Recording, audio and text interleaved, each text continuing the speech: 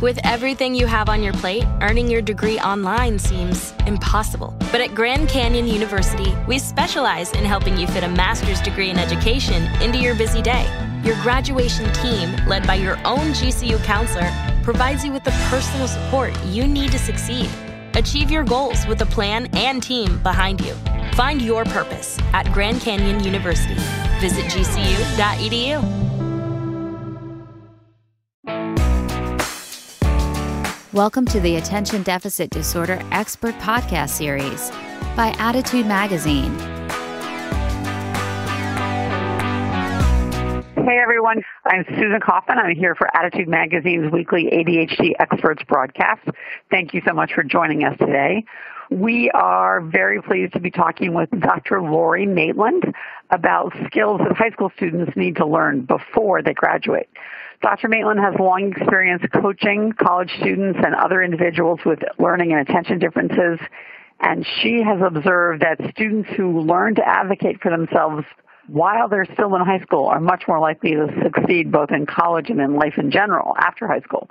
So today she's going to help us understand how we as parents can help our children learn to ask effectively for what they need to succeed and cope with setbacks when they occur.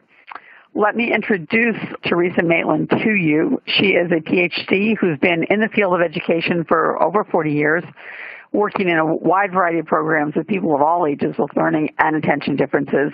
In addition to coaching hundreds of college students over the years, she's also co-authored one of the first books published on the topic of coaching college students and more importantly perhaps co-authored a coaching training program to teach others how to coach college students. And she's also participated in several research studies investigating the impact of coaching on undergraduates, including those with ADHD and LD. So she's a perfect person to tell us how to coach our high school students to get them ready for college.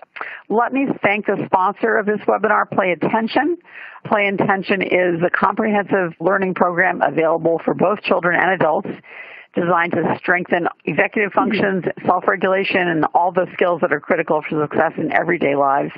Play Attention can customize a program for your teen or for you to develop essential life skills call 800-788-6786. That's 800-788-6786 for more information on customized programs from Play Attention, as well as their personal executive function coaching program with unlimited support. Their URL is playattention.com, and I cannot recommend them highly enough. With that, let me turn it over to you, Dr. Maitland, and thank you again for being here with us today. Well, I want to thank you so much, Susan and Janice and Wayne from ADDitude. I always love the opportunity to collaborate with you. In the time that we're together, what we're going to do is um, talk about the, what what does it mean to self-advocate? What are self-advocacy skills, and why are they important? And what are the barriers in teens with learning and attentional differences? What are the barriers that they have in learning these skills? And then more importantly, I know the main thing that you're on the webinar for is some ideas on how to develop those skills. And I'm going to use some real life examples from my work with college students. Um, and as Susan said, um, from my experience, and I spent 24 of my 40 years at a college setting and also during that time coached a lot of college bound teens. So from my own direct experience working with young people, I've seen self advocacy skills make or break a person's uh, college experience and make a big difference once they're in the world if they do or don't have them. Um, so as I've researched this skill, it's interesting to see that a lot is written about self advocacy when it comes to people with disabilities, and it seems like it's part of the bigger disability rights movement that started way back in the 60s. But I would assert that this is a skill that we all need that we all need. And, and I don't know how you were taught it. I didn't have good role models for it. Um, but it's a critical skill for all teens, even and young people, even if they don't have diagnoses. And it says this definition is, is quoted a lot in uh, references, so I, I put this one up there.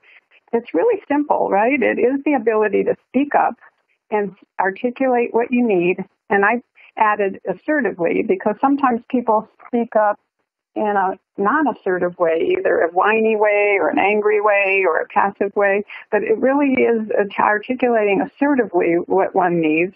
and then using what you know about your needs to make really good decisions about what supports or modifications or resources would help you meet those needs. And of course, making this decision isn't enough. And also, I think a good self advocate has to seek out those supports.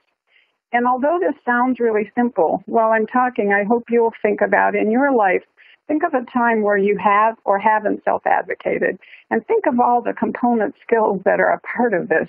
It's really hard, as Susan said, this is hard for all of us to do proactively or sometimes at all, because it really does require that we have, first of all, an awareness that we have a need, and that could be a global awareness of our strengths and weaknesses. And if we have that global awareness, we know that certain weaknesses are going to bump up against certain situations. But it's also that in the moment awareness. Like, how do we know when we have a need? It's hard to know that sometimes that feeling of anger or frustration or hopelessness is a need being communicated to us. And then if we notice that we have a need, there has to be some acceptance in us that it's okay to ask about it and not a shame or embarrassment um, or guilt about having a need that we have to ask someone in the environment to help us. And that step of actually verbalizing it, it I really think it takes tremendous courage to do. Um, and then also a belief that it's going to make a difference if you've had a, if you feel hopeless and you know what your need is, you're you're not going to be able to to get it out there in the world. And then think of all the communication skills that we have to have to actually um, find the right person, talk to them, and and in that dynamic interaction where we're actually trying to get our needs met. Um, we have lots of things can happen where people might not understand or agree with us. So it takes a lot of self management of our listening skills and our feelings. And then, depending on the outcome, right, we also have to have the skills to handle the outcome because the best case scenario is, right, that people agree and we get what we need. But that doesn't always happen in life or in, in schools or in college. Um, sometimes we have to compromise and negotiate, and sometimes we get a no. And we have to know whether what we're asking is reasonable um, and doesn't step on the needs of other people. Um, if we know the laws of the environment that we're in, we can decide is that no really uh, someone not following the laws, or is that an okay no? And do we have to come to grips with it? So as you as we just think of our own lives, we know that this is a very tough skill, but it's critical. And if and I know you wouldn't be on the webinar if you didn't think it was critical. But I thought I would just point out three reasons why we really want this to be a strategic skill that we teach our young people. And in fact, when I've been asked what's one skill that we could teach teenagers that would increase their likelihood of success, I have oftentimes said having um, being a strong self advocate. So I would just highlight again as you're listening and thinking about your own life, think of the countless situations in life that have nothing to do with disability where you have had to self advocate or you wished you had in your family, with friends, in a work setting. If you've ever had a family in our healthcare situation or you've been in it and you haven't understood what the doctors were saying, um, how about when you've received bills that have wrong charges or you've had services that have gone wrong? I thought about as I was putting this together, I recently did renovations in my house with a big box store in my area, and pretty much everything that could go wrong did. And when we don't have self advocacy skills, those stressors, when things don't go well, can just pile on us, right? And if we have the tools to advocate for ourselves effectively, it changes our whole ability to have a successful life. And it has nothing to do with the diagnosis. It's just a critical skill to feel empowered in life. But I do want to point out it isn't just my observations that have led me to believe this is a good skill, an important skill. There actually is a body of research that links self advocacy to success in college. And it, and it goes like this. There, been, there has been research that looks at individuals with learning and attentional disabilities and, and looks at what factors seem to sort out the people who get, uh, get to the end and graduate from those who don't, or from those who take a very long time to graduate. And what researchers have found is that early use of college resources seems to be a key to success in college. Um, and when people have looked at those individuals who do early use of resources, what they've learned is that those teens or young adults have had previous practice before they entered a college setting, being their own advocate and using resources before they got to college. Makes a lot of sense, but it is really true that if um, somebody has left their senior year having run their IEP meeting or their 504 plan meeting, um, individualized educational plan meeting, or even r- handle their own communications in the school, they're more likely to have that ability the first week of class. Um, there's also a big body of research on, on just retention and graduation for all students, and I thought I would share this because I think this was also interesting and points out why this is a skill for everybody um, who might be college bound. That there's research that shows if in, if students make authentic one-on-one mentoring type of relationships with any co- at least one college um, personnel. It could be a faculty, it could be an advisor, it could be a coach, a learning center person. That that improves their retention rate, and retention refers to the, that you come back the next year. And then it also, which I left off the slide, is also is linked to better graduation rates. So as I said, it's not just my observations or um, maybe you're you're thinking, but there's research to support us in this.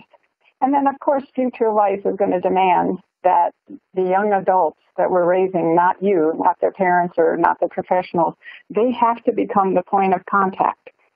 Um, especially in the college setting, if if you haven't already learned this, um, in the college setting, there are laws that say college personnel can't talk to parents unless their team sign a release.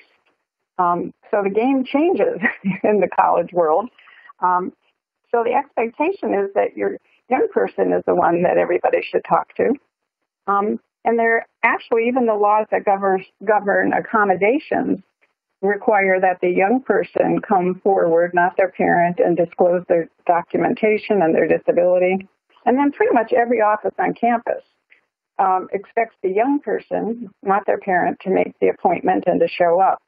And although attitudes are softening toward parents joining young people at their meetings, more often the culture at most colleges is that people just don't expect parents to be calling the professor. Um, and depending on the professor's attitudes, that could close the door or that can close attitudes. Um, if they've had to if they've had to help their young person advocate, then sometimes they're maybe understanding. And then let's just think about in the world of work. I know I've read some articles on the internet about how helicopter parenting has has crossed the line into the world of work and that there are stories of parents joining their young people and these are people without disabilities at their at their interviews to negotiate their salary or even contacting their employers when there's a problem. And certainly that's not going to be in the teen's best interest. And we hate to think about it, but the day will come where the young person won't have their skilled parent who's become a great advocate to do all the advocating for them. So if I haven't convinced you already, I'm sure um, you're you're going to be with me. But you know, it is an odd paradox here because although we know this is a really, really critical skill, unfortunately, the teens that we're talking about who do have diagnoses have lots of factors that are part of their differences that make this really hard. You know more than I do that when you have somebody who has an attentional, learning, emotional, or social difference and they have poor executive functioning skills, it, it makes it hard for them to reflect accurately on what their need is and turn it into a verbalization that they could articulate effectively. And then to stay with it and stay focused on it enough to persist. And then many times, what I saw in a college setting is the parents had gone through the grief cycle and accepted the disability, but the young person had not. And I met many students who were facing for the first time the pain that they really did have a difference and they really struggled with acceptance. And until you're at acceptance and you kind of like yourself and you see your disability maybe as a gift, right? That being able to even talk about it can become hard.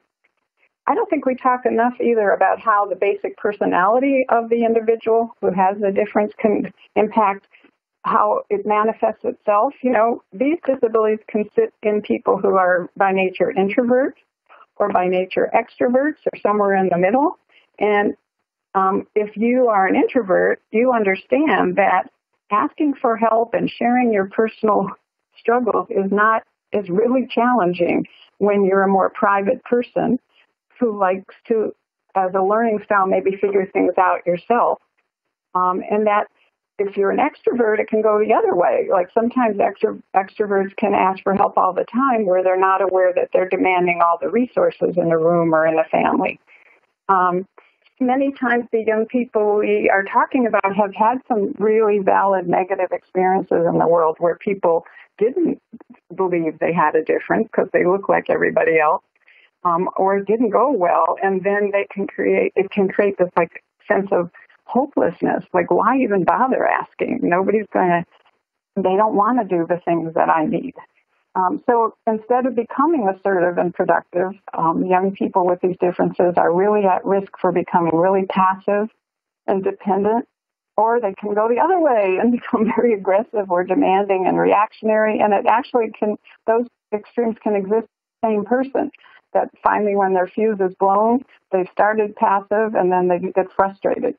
So, what I want us to point out is as a result, I think even though this is a challenge. These skills are hard to teach to individuals with learning differences. We adults can really play a big role. If we take over um, all the self advocating, then we have the potential to be part of the problem. And what I really wanted to share is that I met hundreds of students in the 24 years I spent at a college setting.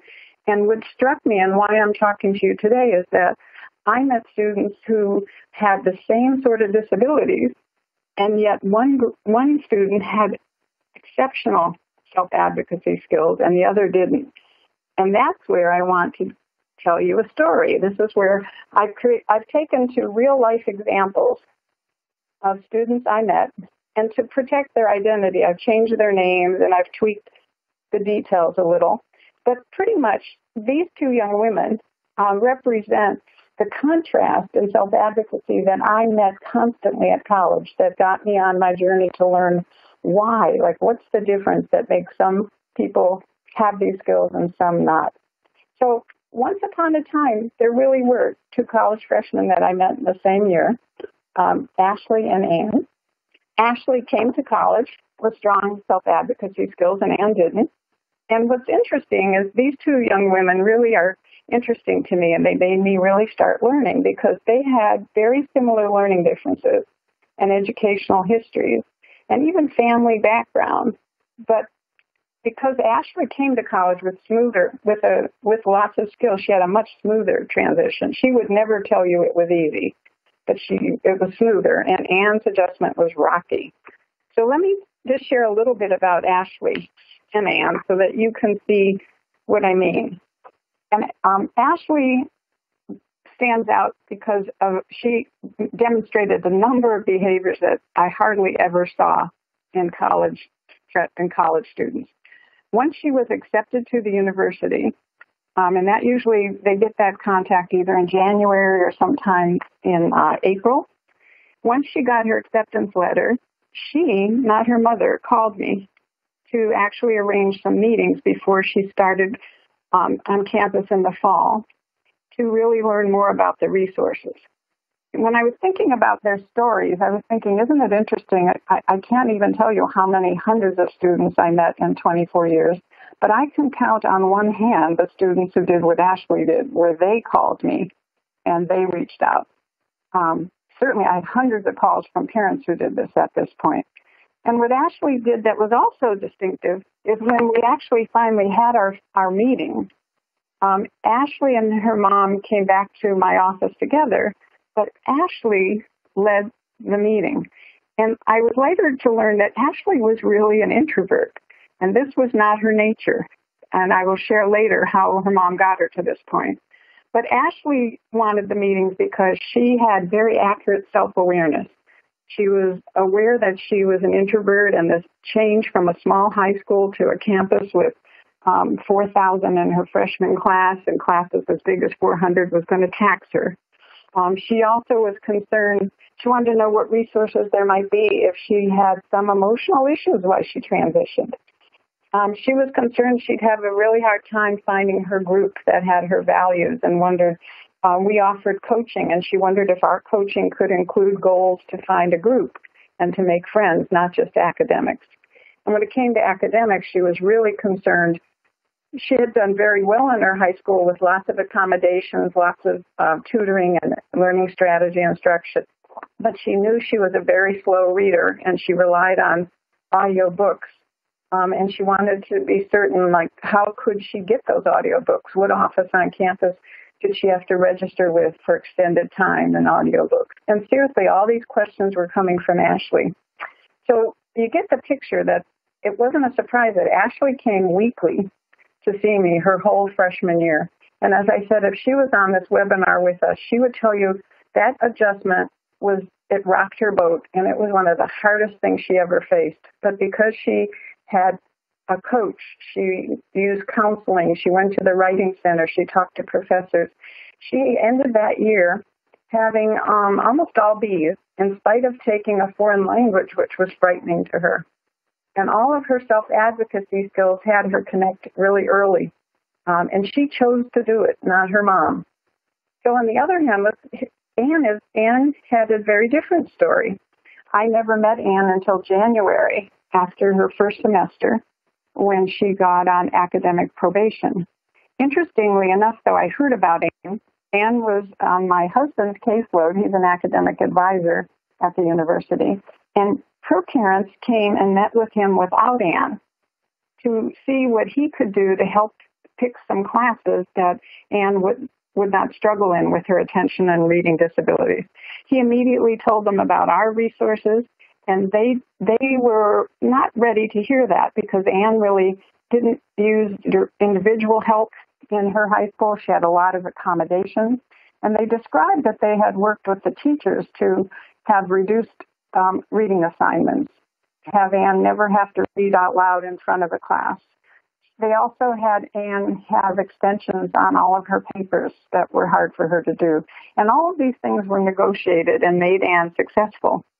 Um, by the time I met Anne, um, she was more open to coming to our office and came with her family, but she really didn't talk. Her parents did the talking. And she did start coming weekly, but the truth was at the point I met her, her self-esteem and her her feelings of embarrassment because she had done so poorly um, were bigger than her learning differences at that point. She uh, admitted to me that when she made some mistakes, she missed a couple tests because she didn't have good time management. She just got hopeless and quit going to class. We uncovered that really at the point I met Anne, she was really depressed and and um, with the help of the counseling center on campus, Anne and her family made the decision to withdraw Anne from the semester and give her time to um, heal, really, to get her depression dealt with, to help her learn more about her learning differences so that she could come back in a better situation. So this, this story kind of indicates some different parenting styles.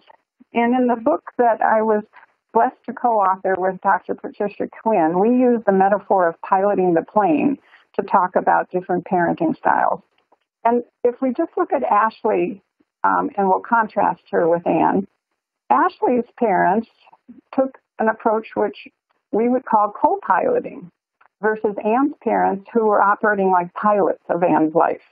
So in Ashley's situation, and I should mention that I got very close to both girls and their families, and I interviewed them to try to understand for my own learning, like how could two girls with such similar issues end up having such different experiences? And and this simplifies what I learned, but Anne's parents would agree that they played a big role in not preparing her to be her own self advocate. Um, Ashley's mom shared that as soon as Ashley was diagnosed in kindergarten and then again in second grade, although Ashley was very emotional about having these diagnoses. She and the family talked openly about Ashley's differences. And Ashley indicated, Ashley's mom indicated that as often as possible, she got the psychologist or the pediatrician to talk to Ashley at her level and to help her understand her differences and frame them in a positive manner. And certainly as a family, they didn't over focus on their differences. They built her talents too, but they didn't hide them. Where Anne's parents, because of Anne's reaction to the diagnosis, or maybe their own feelings about it, kind of kept it under a rug and minimized it so that it robbed Anne of opportunities to really own and accept that difference. Ashley's mom happened to be a special education teacher, so she might have had some extra training about how important this was. But she talked about starting at a very young age, gradually involve, involving Ashley in all interactions, all the way back to actually elementary school. Because of Ashley's shyness, and introversion, she would come home when she didn't understand something on a worksheet and ask her mother to help her. And her mom would say, Why didn't you ask the teacher? And she didn't want to ask the teacher. And instead of starting to tutor her herself, she would help Ashley and say, We're going to go to school tomorrow morning and I'll be with you, but let's go talk to Mrs. Smith. She's a really nice person and she can explain it better than I. So she started very small and then gradually invited Ashley to be a part of any school meeting for just a few minutes. And she told me that many times educators were not open to this idea, um, even IEP meetings. But mom kind of promoted that it was critical for Ashley to um, have the chance slowly to learn how to talk to teachers, how to describe her struggles, how to suggest things that she thought would help her. And actually, her mom did this really brave thing in senior year she actually made the commitment that she was going to make Ashley practice being in college. And what that meant is she and Ashley agreed that mom would have no communications in the school and Ashley would have them all. But mom's role was co-piloting. She was in the background helping Ashley prepare for every school interaction, helping her um, debrief it if it didn't go well and problem solve how to go back and, and, and continue advocating as opposed to, as you heard, Anne's parents did all the communication, as did the teachers and problem solving. Ashley's mom understood that as her right, she could have gotten a lot of environmental changes for Ashley that would have made life easier for her. But she was always very cautious to balance too many uh, accommodations with Ashley learning how to manage things. So although Ashley had extensions on assignments, she and her mom um, pushed the school to have resource help to teach Ashley better time management and better writing skills so that it wasn't always needed that she had to have extensions. Ash, Anne's parents really saw later with 2020 hindsight that they never really had those opportunities for Anne to go to a tutor to get the help. Um, if they did have a tutor, it was them at home, but they really pushed the school for lots of environmental changes. And you can see, uh, uh, finally, Ashley's mom and family, they were really proactive and strategic about the long-term reality, um, where Anne's parents were not. And let me just say, I am not judging Anne's parents. And um, I understand because I have an enabling kind of personality, and I know how hard it is when you have someone you love and you see them struggling. But I think lots of times that love may blindside people and not let them see the long-term impact that um, doing all the advocating um, is doing. Now, this slide makes you think it's all the parents' fault, right? But let me say, as you're sitting there, I'm thinking, you're probably saying to yourself, Theresa, you don't understand my team. I want to co-pilot with them, and they they won't. And I understand because I did meet lots of young people whose parents brought them to our office and they refused to come. Um, and it, and I know I don't have any easy answers for really, really resistant teens, but I do have some thoughts for us to think about. Um, when you have a really, really resistant teen who won't own their difference and won't ask for help and won't use the resources, um, the top priority I think needs to be your self care so that you are not overly stressed and you kind of catch yourself if you're by accident piloting their planes. I think it's really critical for us to try to help those young people figure out what's causing the resistance and getting some help for them. Sometimes it really is a lack of full understanding of their differences and an acceptance and a shame about it. Sometimes there's a coexisting emotional issue like depression, anxiety, social anxiety that makes it really hard, or being on the autism spectrum um, that may also be there. And I would urge you to work in your area to find a third party um, that can help you with your teen because sometimes what happens is the rebellion between of teens against their parents uh, makes them not be willing to listen to you, but a third party like a good therapist, counselor, coach could maybe help them open their minds to advocate for themselves. And there may be times where a family counselor might actually encourage you to use a tough love approach. Um, I don't know your child, and I don't know that that's what he or she needs, but you might talk with a therapist. I have met some families, and when I say tough love, I've met families who have said to their young person starting in ninth or tenth grade that we notice that you have a hard time asking for help and you don't want to use your resources. I think for us to invest in college for you in three or four years or two years, we need to see that you're facing yourself and you're getting help. Um, I've also met families who, um, young people like Anne, didn't make it, and they actually said to them, if we're going to invest back to put you back in school, we need you to commit to being in counseling or to using the resources. There's all sorts of ways that sometimes we have to give a little nudge for that young person to open up.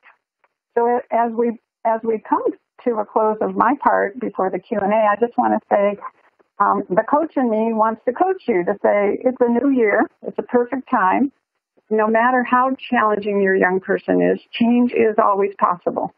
And if you are piloting the plane and you're stuck in that role, you could begin to just talk to your young person about the fact that things are going to have to be different this year. And you could blame this webinar. And, and when we're co-piloting, we always collaborate. So we could give choices, like is there one teacher your young person would feel more comfortable asking for help from versus others?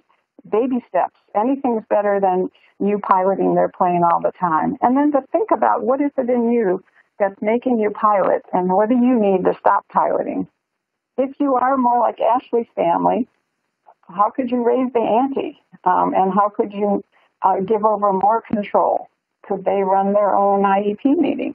Or could they come the last part or the first part to talk about what um, what accommodations helped and what didn't? just kind of raise the bar a little bit. And finally, I always like to leave stories on a happy ending, and not all stories I understand of young adults end as happily as these two girls did. But the truth is, both Ashley and Anne, their dreams came true. Um, Ashley graduated in four years. She never got on academic probation. She graduated with fairly, really good grades, and her first job out of college was a as a middle school teacher for young people with learning differences. And a couple years ago, she called me to say she has a relative who owns a camp, and they've been talking about maybe turning that camp or part of it into an outdoor adventure experience for kids with learning differences. And she's considering going back for an MBA to maybe be in a business role at that camp. Um, she credits the struggle she had uh, learning to advocate for herself to opening her mind that anything's possible. And Anne's story also ended positively. It took Anne longer. It actually took her five and a half years to graduate. She came back a second time to try to do her best and wasn't ready yet and took another uh, leave of absence. But eventually she came back and came regularly for help. She ended up being a peer coach in our office and actually the office that handles retention. And um, that means students who are on academic probation. She actually volunteered there to uh, give hope to people who got on probation like she did her freshman year. Um, when she did graduate, she actually decided she wants to be a clinical psychologist working with young people with learning differences. So on that happy note, let me make sure I'm at the end of my story. I, we're going to save that till the end. So now I really want to give you a chance and open us up for questions. Great, thank you so much. Um, that was fascinating, and I love the, the, the profiles of the two students. Lots of questions here, many of which come back to how do I do this? Let me just try one from Annette. She said, I have an eighth grader, which is interesting because she's got time, you know, who struggles with math and his school offers after school math support. But my son will not go to it. I've tried ever, over and over again to encourage him to use these, these services and I can't get him to do it. What's your advice? Well, it, I would first ask him why. I would kind of want to find out, like, what is it about going that um, and I'm assuming he sees it as a sign of failure um, mm-hmm. or uh, a negative thing. And, and many times, just using a resource in our society you're seen as something only people with problems do, rather um, than pe- that it's the way of life for adults. Like we all have to use resources. I wonder, uh, short of mandating that you have to go, right? I wonder mm-hmm. if there's a way to create an incentive to go.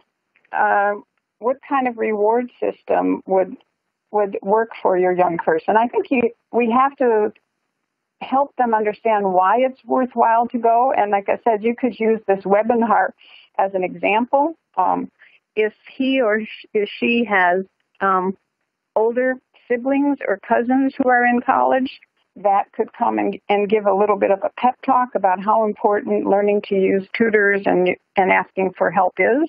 Sometimes that can shift somebody's perspective, but sometimes they actually need a reward to try it.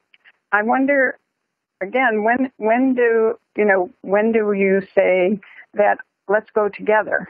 At least we're going to go one time together. I want you to meet the tutor and let's at least go talk to them. Um, because sometimes that that step going by yourself is overwhelming. Many of the families mm-hmm. that connect their young person to me realize that they would never come by themselves, but they came with them for their first several meetings. Um, I again, I I hate to sound like sometimes we might if the grades are really bad in math, and math is really an area of need. Is it possible to to say this is something that's non-negotiable?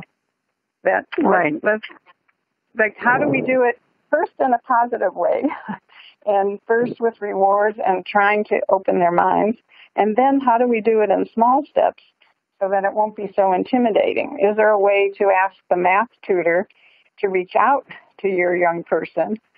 to invite them and say, I really want to work with you? Like, how do you design like the situation to entice them? But there are times that's when I say a tough love approach like, you know, for example, in college, in some classes, if you get a D, you have to go to tutors. Right, no the, choice. Yeah, yeah. Yeah, the, the professor requires it. But um, I think again, examining why and what his what his what's going on. Yeah. And is it shame? And how do we take that away by modeling that we go for help? I think you know you raised a really good point about in the Ashley versus um, Anne discussion about being comfortable having the disability, and um, that seems like something that underlies many people's different approaches to asking for help because asking for help by definition assumes that you recognize you you have something that you need help with and you don't feel ashamed about it. Can you talk some more about how parents can can address that issue of differences and shame um, and what ages they should should start to do that? Well, what's coming to me as, as you're asking me this, I'll I'll get to the parent point, but I think it's a societal issue, mm-hmm. and I think that I wish that we could influence our schools to have resources for everyone. And let let me I'll I'll get back to the parents in a second, but for example, our learning center that I worked for at UN, University of North Carolina at Chapel Hill at one point had a very bad stigma that it was only for people who were failing or on probation or um, people with diagnoses, and nobody wanted to use it. Um, we had a new director come in about 12 years ago, and she tried to spin that whole thing differently. Um, she started a campaign finding some uh, successful students who were willing to use the Learning Center and successful students who want to get in med school or they they have B's but they want A's and then use those students to to be the spokespeople in classes to talk about the fact that the learning centers for everybody when Michael Jordan went to college he didn't stop having a coach we all need learning and coaching so I do think what the problem that I saw at the college level is most of the high school students never had a school that had resources for everybody.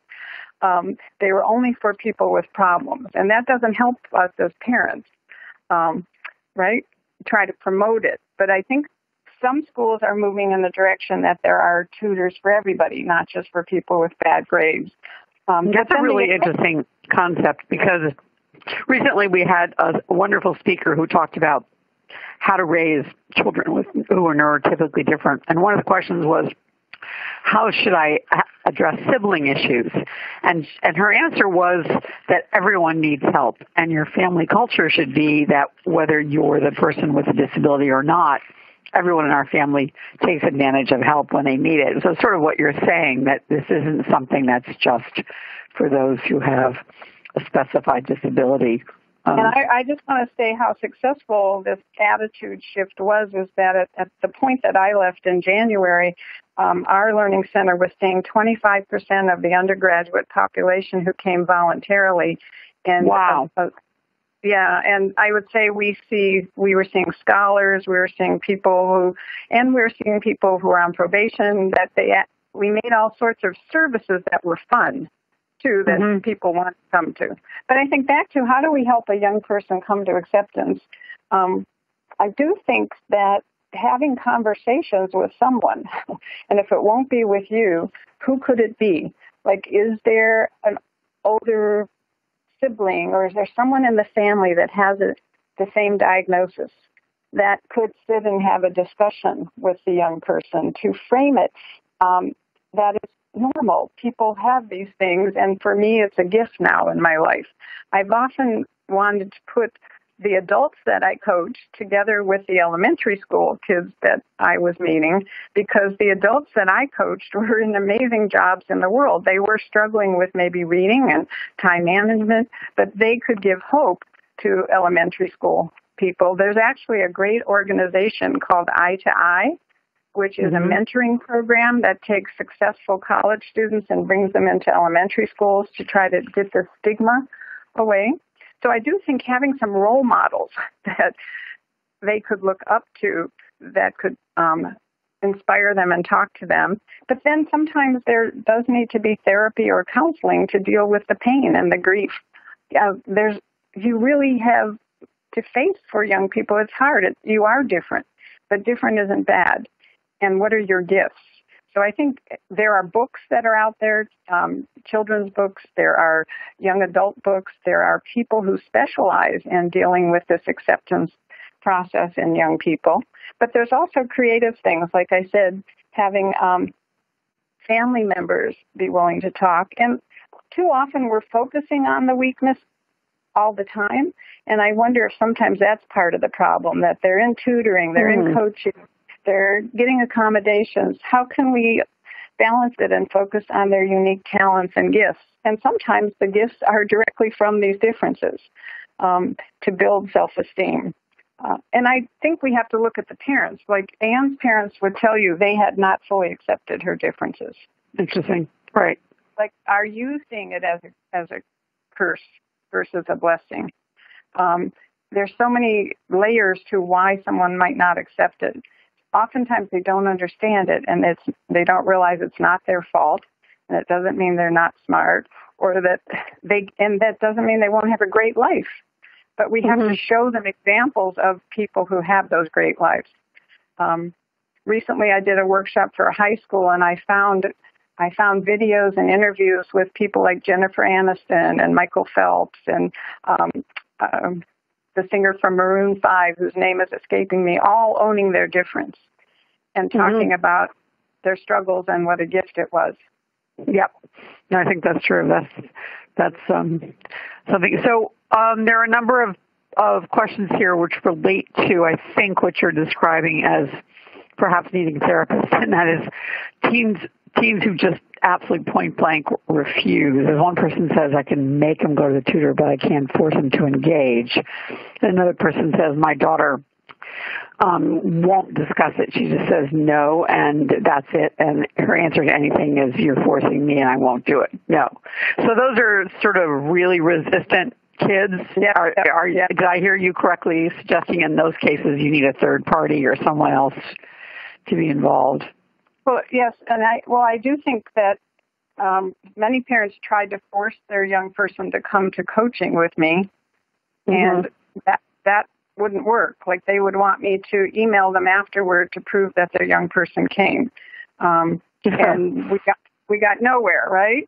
So mm-hmm. sometimes the, the parent needs help on mm. how do you how do you manage this, and when do you let natural consequences happen? Because sometimes mm-hmm. people are resistant, but they've never experienced the consequence of their decisions because we are oftentimes there propping them up or doing the advocating for them. So lots of families I worked with with resistant people tried to get help themselves to figure out how do I cope and where am I part of the problem?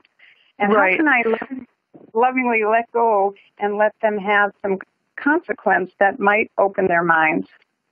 Uh, and truly, you can't make somebody be open in a therapy session, but you could go get therapy on how do you stop getting in a power struggle. Right, that's really interesting. Yeah, in a situation where you're up against the, the ones I just read that people have posted, where you're up against a child who absolutely won't engage. Clearly, you need some other advice, either you or somebody. Right? I mean, just beating your head against that wall is not going to work. So. I was just going to say the therapist or whoever you're going to might help you figure out a way to give that young person options. Like mm-hmm. sometimes they won't do a therapist, but they would do a coach or they would do a tutor. Um, um, sometimes a therapist can get through to a very resistant person that is fighting their parent. Sometimes not. Um, right. And sometimes it does take a natural consequence. Like um, I did meet some very resistant teens who refused help, and they did become ineligible at college, and that is hard to let that happen for your young person because you love them. But that, sometimes that is what it took for someone to open their mind that their parents were right mm-hmm. that they mm-hmm. do have a difference and it would be easier to navigate with help. That's why right. I said there's no answers and you need help because that person's going to um, test you for years to come. And you want to right. want to make sure that you're part of you're part of the solution and you're living your life and you're taking care of you and not part of the problem. Mm-hmm. To your point about moving from pilot to from pilot to co-pilot, which I think is a great image. There are a couple of questions here about that transition. So one person says, for younger children, what's a good age to switch from pilot to co-pilot, and how do you make it? And then another person similarly says, how would would you get a fourth grader involved in an SIT meeting? So I guess the question is, how when does that transition start? And can you describe some of the the ways parents can make that transition happen? It's a really good question. And I don't know that it's a when, but it's a how. I actually do think that at all ages we could start co piloting. And all mm. that would mean is that, for example, if a child is having trouble learning a spell, learning spelling, um, instead of just sending them to some specialist for help, we rarely say to them, "You're having trouble spelling. What do you think would help you?" We don't we don't collaborate. And what co-piloting really means is don't make the decisions without the input of the young person, no matter what age. And how could we just ask them? Like, so I know, you know, this this subject has been hard for you. Um, we want it to go better this year. What do you think will help? And what role do you think, like, what do you need me to do? And what could you start doing that I'm doing? You know, mm-hmm. if I'm the one stuffing your your homework in the folder every night because you forget it. Let's stop that. And, and again, I'm, I'm trying to say it's not so much an age, it's sort of like an, it's an approach that could start at any age where mm-hmm. your young and you decide that, um, and we're going to stay with this idea of talking to the school. Like um, in the past, perhaps the parent has always answered the calls from the school and gone to the meeting. We could say to a second grader, a third grader, a fourth grader, there's a school meeting and it's about you and I'd like you to be a part of it. Um, what do you think? Mm-hmm. And um, if you don't want to go, how about if you tell me what questions you want me to ask? And this whole okay. co-pilot approach is like collaboration. Um, and it might actually be picking, as I said during the presentation, kids usually have more than one teacher. And they might not feel comfortable asking questions of all of them because some may be more stern than others. So we might say this year, let's pick one teacher where you're going to do more of a discussion and asking of questions and, and you're going to talk with me with them. Which one, now that you've been in school two weeks, which one do you think you'd feel more comfortable uh, coming to meetings with? And if you don't want to be at the whole meeting, what about the first five minutes? And let's rehearse at home. And that's where Ashley's mom did such a great job. She would make Ashley rehearse at home before they went to the meeting. Were you going to stay in the meeting? Because it was hard for Ashley as an introvert. What questions are you going to ask? And if you get stuck, I'll be there to help you. But it's that collaborative approach that's baby steps where we actually start asking the young person, what do you think would help you? Let's have you practice asking for what you want and if it's hard for you to do, let's rehearse it. Um, wow. Yep. It's a whole different approach than, and many times schools don't want the young person in the meeting because they, they feel uncomfortable talking about them in front of them. Um, but I think, again, anything that just moves the young person to be sharing that role with their parent. And the question, like, what do you think? Um, what steps could you take this year? What do you need from me to help you take those steps? And I'm here for you. I'm not going to abandon you. But I want us, by the time you're a senior, to be doing more on your own. Mm-hmm. Mm-hmm. And and I guess you're right. It's sort of an approach that could start start at the earliest age, really, um, rather than telling people, uh, focusing on um, telling your child, focusing on involving your child in what the solution is. Um, there are a couple of questions here which are similar, which are very interesting, which are about ch- uh, parents of children who who who just, I guess, in the perspective from the perspective of the parents, are just denying reality. So. Um, my child, my son refuses to go help for his teachers because he doesn't think he needs help. He's got it under control. We don't know how to combat that, even with the fact that his grades say otherwise, that he doesn't have it under control. Or um, another person whose child um, wants to do absolutely everything and doesn't see any reason why they can't manage all activities and all things, even though their executive function problems make it very difficult um, for them to get everything that they'd like to get done. So these are two parents of children who just don't see the problem. I guess is how they would describe it, or, right, or right. won't admit it. Won't admit to the problem. Say that they have it all under control. Right. Well, I wonder again, is this a situation where you can converse with your young person and have a productive discussion? Because it might take them telling you why they feel that way and what evidence they have for their argument, and you telling them why you feel differently and what evidence you have. Now, if it becomes a battle, that's where sometimes a third party mm-hmm. is needed who could help the young person see the facts. Unfortunately, none of us are really accurate, self-aware people, but especially people with learning differences, they don't remember that maybe there were four times that they got bad grades. They're only remembering um, the one time it worked out. So I, I think that sometimes staying in a logical place and just kind of saying, okay, let's put it on a whiteboard. What are your facts that make mm-hmm. you think?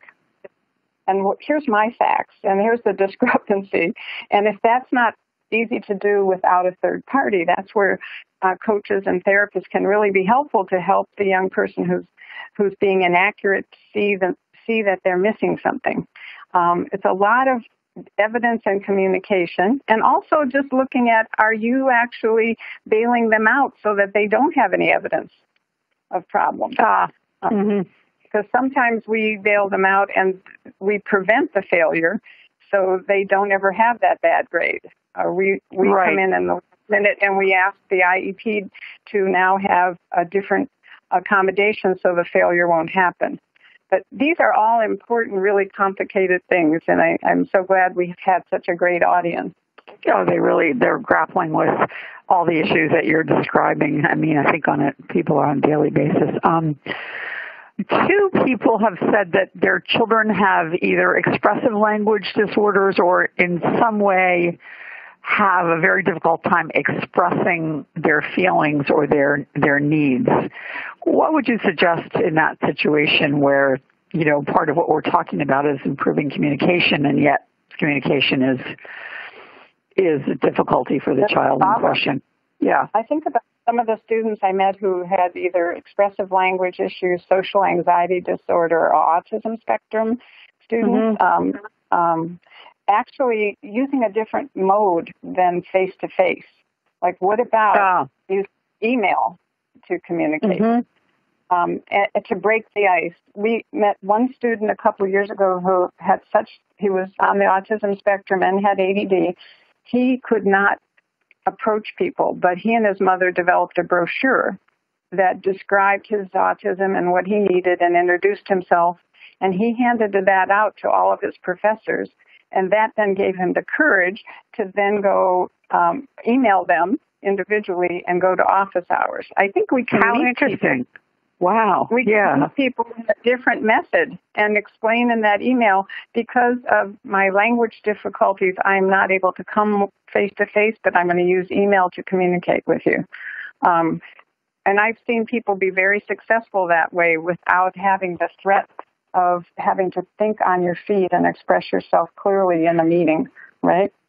Right, that makes so much sense because people oftentimes will be very comfortable texting or emailing who don't want to talk in person or, or on the phone. Certainly not. That's something we hear constantly. So that's that's really an interesting idea. Can I just mention you have a worksheet on my resource list that ADDitude created. That's a worksheet that can be filled out to help your young person introduce themselves to their teacher. Um, mm-hmm. And actually doing that and, and having that sent to the teacher by the student or brought rather than discussed, I think those are all ways to work around their difference but still meet the goal of advocating. Okay. Yeah, that's that's a that's a great idea. Um, so getting them out of the last year of high school, a couple of questions about in they're in their senior year in high school. What do you do? What, what's maybe you wish you'd done things sooner, but now you've just got this last year. What's the most important thing that you can do? Well, I, I would want you not to think you only have this last year because you actually, you you um because of technology right and phones and texting and many young people in this generation stay in touch with their families in college in fact there's some research that says kids um, either call or college freshmen call or text their parents three to seven times a week. Um, mm-hmm. It's very common. So don't get the feeling like you have to get it all in senior year if you haven't. But I like this this whole idea of, of collaborating with your young person. And again, if you have communication with your young person and you don't need a third party, you could sit down and just say what you just said. Like, you know what, this is your senior year. College is 12 months away and I'm wondering what we could do together to help you help you be better prepared as a self advocate. Um, or in general. And the books that Dr. Quinn and I created have some college readiness checklists in them that we designed just for this purpose so that a senior or junior would, would sit down with their parents and evaluate their readiness. But if we stay with just the self advocacy, we could say, um, you know, when you're in college, I'm not going to be there, and you're going to have to. What what could we do? And collaboratively mm-hmm. set some goals for the first month of school, and and decide together what role does the parent still need to play because the young person isn't ready to take the baton, but what step could the young person take? Um, any small steps in the direction of learning to ask for help on your own is going to be helpful. Um, and guiding, being guided by the young person's readiness, they are fearful frequently because they don't trust their ability to do it. Um, right. So having a joint decision. And again, if you're in a stalemate with your young person, or if it would help you to have a coach guide you through this process, that would be another approach, is to have someone who in your community specializes in college readiness help you make like a game plan. Um, maybe not just for self advocacy, but for everything, like waking yourself up, uh, taking your medicine, handling your own homework. So there's a lot you can do, and you're still going to be in the in the plane with them in college. Right, and absolutely, it yeah. It, it can continue. Great. Thank you so much, Dr. Maitland. This was super helpful. Thank you, everyone, for participating. Good luck with the school year. And thank you to Play Attention as well. Bye, everyone. For more ADDitude Podcast and information on living well with attention deficit, visit ADDitudeMag.com. That's A D D I T U D E M A G.com.